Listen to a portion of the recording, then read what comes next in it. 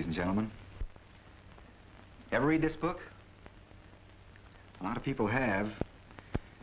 And they found that it was one of the most vivid, powerful stories they'd ever come across. The book reviewers thought so, too. Top-notch ones like Clifton Fadiman, the expert stumper on information, please, and a noted critic. He sort of summed up the way I feel about this story when he said, I think it's sort of what you might call a masterpiece. I couldn't put the book down till I'd finished it. And right then, I, I knew more than anything that I wanted to play in a picture made from this story. Well, I was lucky enough to do so. And while it's not ethical for an actor to talk about a picture he's in, in public that is, I'm going to do it anyway.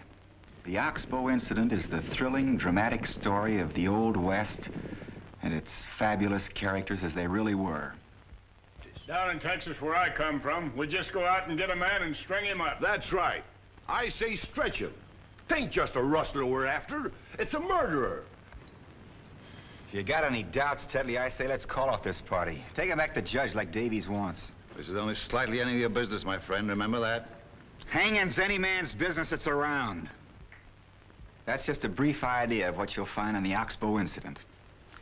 We at the studio think it's one of the most daring and unusual pictures ever made. Jammed with emotional and dramatic impact from the start to the amazing climax. When you see it, we believe you'll agree.